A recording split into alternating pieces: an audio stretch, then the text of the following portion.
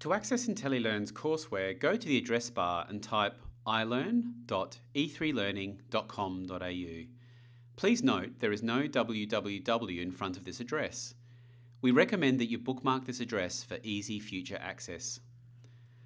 To log in and access your courses, type your username and password into the two boxes.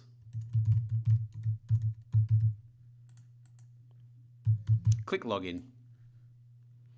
If it is the first time that you are logging in, you will be asked to change your password. You can change it to anything you wish to use, but please make sure you do remember what it is. Use this new password for all future logins. You can change your personal details, including email address, password and name at any time by clicking on My Account at the top. Make the relevant changes and click Save Changes at the bottom. You can access all of the courses from the My Training tab at the top. Click on the library name and the course or courses will open up. You can go into any course at any time by clicking on its name. To access your certificates for the MedSafe course, please click on the green assessments icon. If you have achieved 100% for any assessment, two icons will appear above that assessment. Click on the star icon on the left to download your certificate at any time.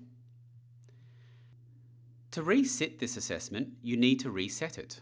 You can do this by clicking on the icon on the right. Before doing this, please ensure you download your certificate as it will not be accessible after resetting it.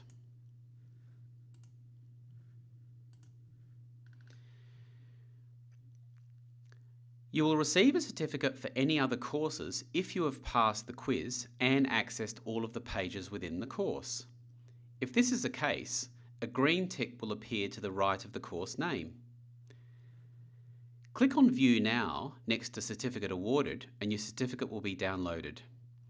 To reset the assessment, you need to reset the course. You can do this by clicking the Reset Course button at any time.